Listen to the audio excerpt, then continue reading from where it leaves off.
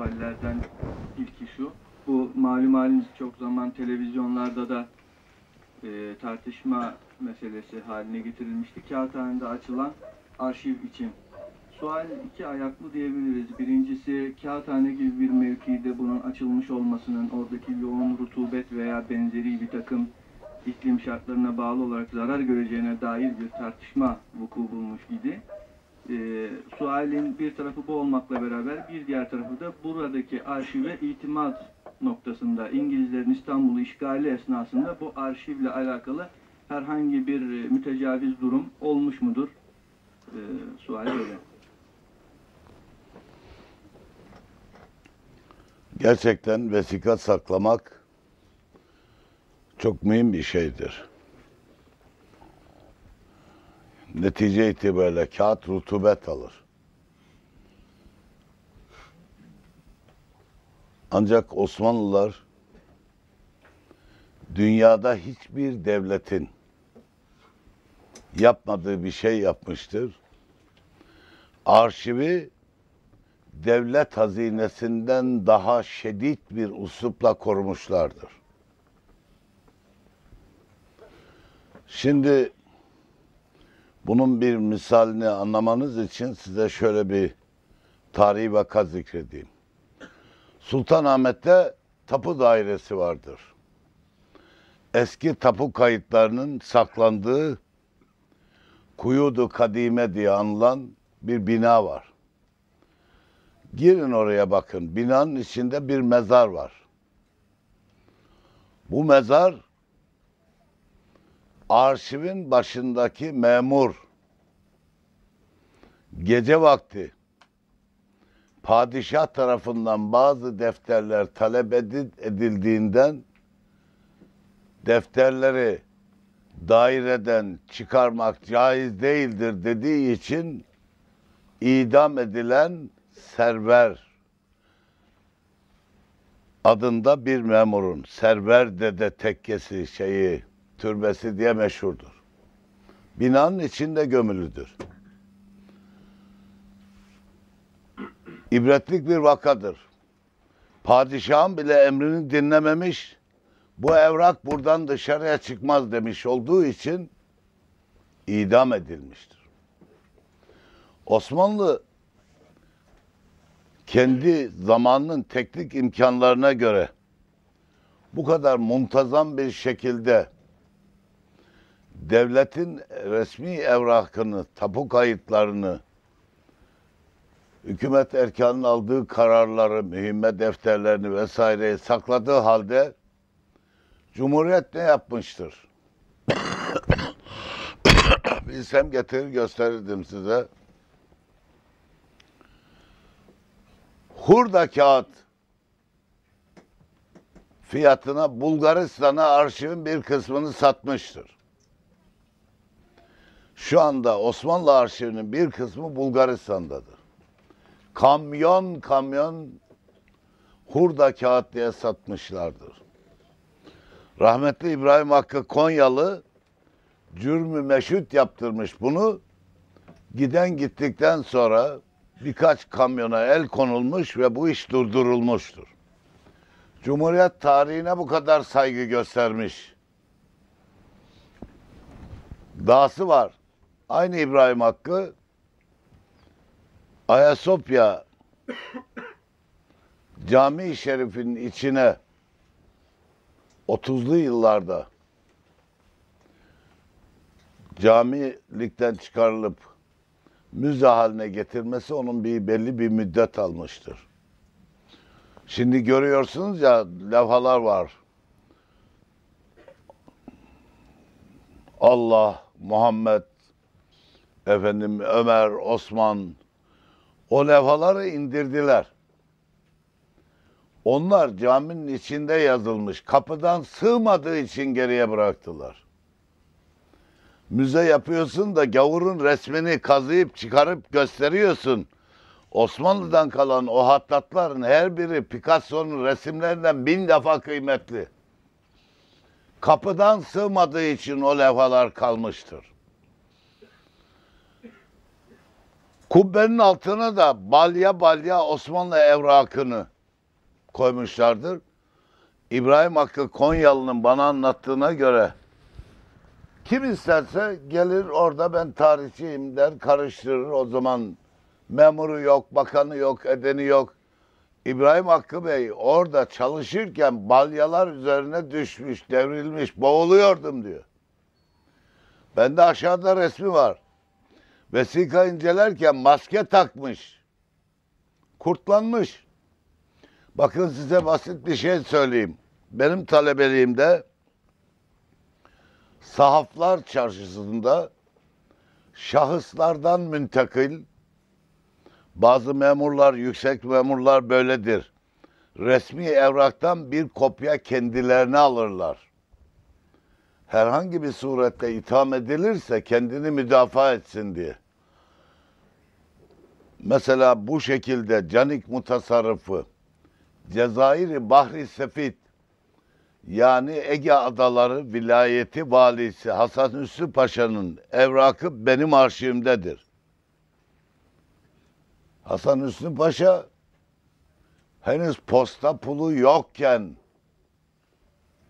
posta pulu daha yok ortada. Bal mumu damgalı zarflar gösterebilirim size. Ailesinden sahaplara intikal etmiş. Ben de parayla sahaplardan almışımdır. Böyle ellerde çok vesika vardı ve yazma kitap vardı. Aslan Bey adıyla birisi, Aslan Bey adıyla birisi bu kitapları sahaflarda devamlı dolaşır. Bir müzayede yapıldığı zaman içinde vesika veya yazma kitap gördüğü zaman en yüksek fiyatı verir alırdı. Allah rahmet eylesin Hacı Muzaffer benim kulağıma dedi ki bu Aslan Bey Yahudidir. Bu, burada Aslan Bey adıyla dolaştığına bakma. Burada satın aldığı hiçbir şey de kendi adını almıyor. İngilizlerin buna tahsisatı vardır. Bu burada vesika ve yazma kitap toplar. Adama bir şey demedim ama ben çok kızıyordum ona. Aradan bir müddet geçti. Hüseyin Kazım Kadri Tanin gazetesini kuran meşhur Kadir Paşa derler Trabzon valiliği yapmış bir adamın oğlu.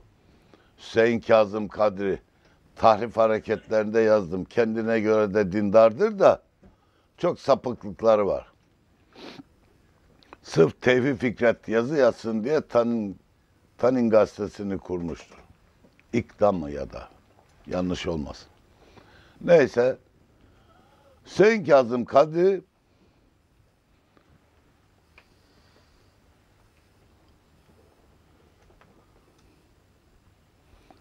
Ziya Gökalp'e cevap vermiş. Türkçülüğün esasları isimli kitaba cevap yazmış.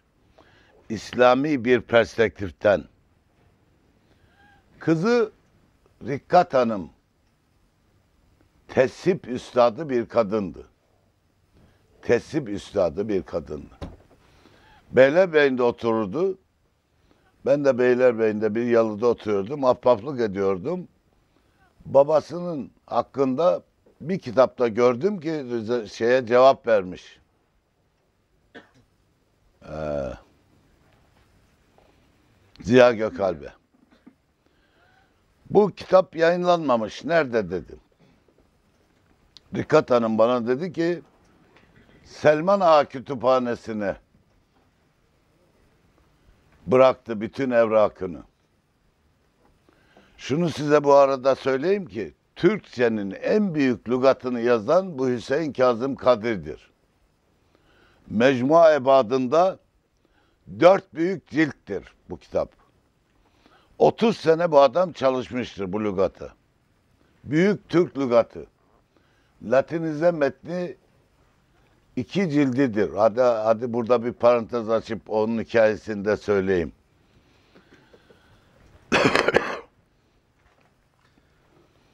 İki cildi basılmış Marif Vekaleti tarafından harf inkılabı araya girmiş. öteki ciltlerin basılmasına müsaade etmedi. Ben bu gavur harfleriyle kitap yayınlamam dedi. Etme gitme kitap yarım kaldı. Hayır. Bu müsveddelerini bir paket yaptı. Üçüncü ve dördüncü cildi bir paket yaptı. Burada Üsküdar'da bir Mevlevihane vardır. Şu anda Mevlevihane değil, boş. Bir derneğe, bir vakfa verdiler. Oranın bir şeyhi vardı Remzi Dede. Ona getirdi, Remzi Dede'ye verdi. Osman Ergin'in bir kitabı var, o anlatıyor bunları. Hüseyin Kazım Kadir'in hakkında. Bir kitabı var, ahbabıydı, o da aynı nesilden. Bir küçük teneke gaz yağı. Bir de kitap müsveddeleri. Ben bu kitaba 30 sene emek verdim. Bunun ya bu Latin harflerle basılmasına gönlüm razı değil. Yakmaya da kıyamadım. Aha sana kitap müsveddelerini teslim ediyorum. Şu gaz yağını da al sakla. Benim vefatımı duyarsan bu gaz yağını dök, bu kitapları yak. Böyle bir adam. Hüseyin Kazım Kadir. Bak bir sual neler. Geçenlerde size dedim ya, ihtiyarlığın alameti zihne hatıraların hücum etmesiyle belli olurmuş. Evet, araya adamlar girdi. Etme, gitme, yazıktı bilmem ne ikna ettiler onu. Nihayet huruf ve haca esas alınmak üzere yani eski alfabe esas alınmak üzere. Esas alınmak ne demektir? Mesela Latinize harflerde bir tek H harfi var. H. Halbuki Osmanlıca'da H var, H var. Diyelim bir tek S harfi var. Orada sat var, sin var, peltek S var. Bunlar esas alınmak suretiyle son iki cildi Latinize basılmıştır. Her biri 800-900 büyük sayfa. Dört cilt. İkisi Latinize, ikisi Osmanlıca basılmıştır. Tamamı Latinize basılmış değildir hala. Bu kitapların yazarının Gökalp hakkında bir reddiye yazdığını öğrenince kızından rica ettim. Selim Ağa kütüphanesine bıraktı bütün evrakını dedi. Kızı. Selim Ağa kütüphanesine gittim. Selim Ağa kütüphanesi Üsküdar meydanına yakın. Bağlar başına çıkarken o yolun kenarında sağda bir yerdedir. Selim Ağa kütüphanesinde ara tara yok. Oranın müdüresi dedi ki burada bir camlı dolap var. Yıllardır açıldığı yoktur. Belki oradadır dedi. Ben buraya müdür tayin edildiğimden beri bu dolabı hiç açılmamıştır. Ya bunun anahtarı nerede? Güç bela uğraşarak bunun anahtarını bulduk. Camlı dolabı açtık. Yüzüme bir kelebek hücum etti yığını. Sürü halinde. Bütün kitaplar kurtlanmış, böceklenmiş. Kapağı açar açmaz camdan yüzümüze bir hücum oldu ki böyle kaçma mecbur kaldık. Neden? Koymuşlar oraya yazma kitapları. Tabii hiçbir tanesinden hayır gelir vaziyet yok. Kurtlanmış. Kitabın, vesikanın muhafazası böyle ciddi bir iştir. Cavit Baysun diye bir tarihçi vardı. Bir tarihler şeyden e, sahaplardan bir kısım evrak aldım. Çok buruşmuş. Ya Allah Allah bunu nasıl düzelteceğiz dedim. Bana sahap dedi ki Cavit Baysun gibi ütülersin dedi. Gülmüştüm ona. Sonra ben de bazı evrakı yakmamaya çalışarak ütülemeye mecbur kaldım. Böyle hoyrat davranılmıştır. Sade camiler satılmakla, tahrip edilmekle, yıkılmakla kalmamış. Biz kötü bir miras yedi olmuşuz. Bulgaristan'a satılmış. 1950'den sonra orada bir tasnif heyeti teşekkül etti. O zamana kadar tasnif diye de bir şey yoktu. Aradığınızı bulmanız şans eseriydi. Hatta o tasnifte çalışanlar istediği evrakı cebine koyup dışarıda kaçırabiliyorlardı. Allah taksiratını affetsin. İbrahim Hakkı Konyalı'nın böyle arşivden aşırdığı pek çok vesika vardı ki bana da verdikleri var. Mesela buradan ilan edeyim. Belki birisi ciddiye alır da bir iş yapar. İşgal zamanı İngilizler arşive dokunmadı. Düşmanın bile dokunmadığı arşive Cumhuriyet nasıl muamele etti buradan anlayın. Arşive dokunmadı ama başka bir şey yaptılar. Şimdi Harbiye'deki silah müzesine geldiler, askeri müzeye. İncelenmek üzere bazı eşyaları aldılar. İki sayfa halinde liste yaptılar. İade edilmek şartıyla bu listeleri arşive teslim ettiler listeyi. Senet. Bu senet benim arşivimde. Bu silahlar geri gelmedi. Askeri müzeden alınan yüzlerce eser işgal zamanı geriye gelmedi. Aldıklarını ispat eden ve emanet alıyoruz, incelemek üzere alıyoruz diyen evrak benim arşivimde. Böyle horet muamele gördü.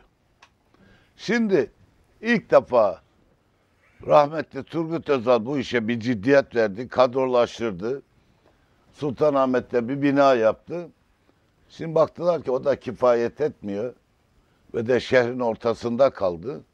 Kağıthane'de bir bina yaptılar. Doğrusunu isterseniz açılışına beni de çağırdılar ama böyle bir sohbetim olduğu gün olduğundan gidemedim. Ben vaktiyle Libya üzerine doktora yapıyordum. Hapse düştüm. Yarım kaldı. O zaman arşive gidiyordum. O zaman Sultanahmet'teydi arşiv. Sultanahmet'teki arşive gidiyordum. O günkü şartları biliyorum. Perişanlıktır. Perişanlıktır. Şimdi ne kadar düzeldi? Bu yapılan yerde klima tesisatı yapıldı mı? Korumaya alındı mı? Burası hakikaten çukur bir yerdir. Rutubetli bir yerdir. Bunu bilmiyorum. Onun için gidip görmeden bir şey söyleyemem. Yalnız şunu biliyorum ki milyonlarca evrak daha el değmeden duruyor. Arşivi gidip gören, orada çalışan bir insanlara sormak lazım ki hakikaten ciddi bir klima tertibatı alınmış mıdır? Üstadım söylenenlere göre tüm iklimleme cihazlarının e, yapıldığı söyleniyor yetkililer tarafından ama buna rağmen itirazlar var tabii. Evet. Bir şeyi beğenmemek kastıyla bakan çok olur. Kimisi yarıya dolu bir bardağa baktığı zaman yarısı boş bardak der, kimisi yarısı dolu bardak der. İhtimal bazı eksikler, kusurlar vardır ama bugün artık o Bulgaristan'a arşiv satan bir Türkiye yok.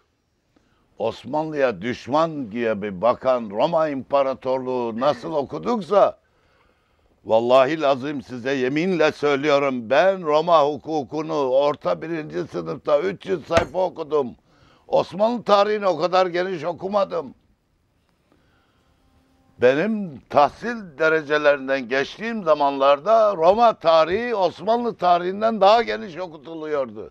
Osmanlı düşman. Osmanlı düşman. Bizi Mustafa Kemal yarattı haşa ve kella. 19 Mayıs'tan evvel biz yoktuk. İyi ki Samsun'a çıktı da biz var olduk. Bu mantık hakimdi. Tenkit edecekseniz o devre edin kabadayıysanız. Kabadayıysanız bazı insanlar vardır dışarıda döverler, söverler. Gıkı çıkmaz eve gelir hanımına çocuğuna kabadayı olur. Kemalistler böyledir. Kendi milletine karşı cesurdur.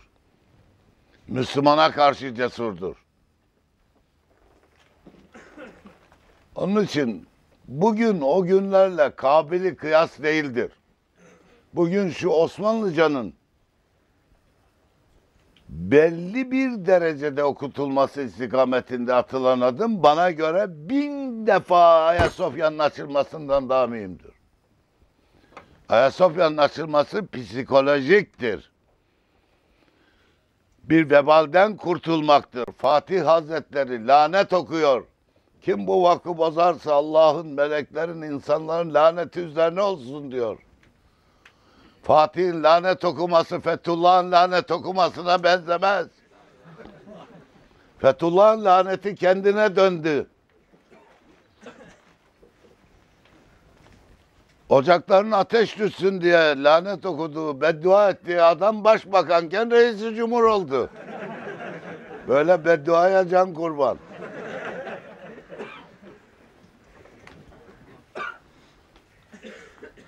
Eğer öfkeniz varsa İslam karşıtı güçlere kullanın onu. Bir şey yaptı da İslam'a uygun da eksiği var, yanlışı var.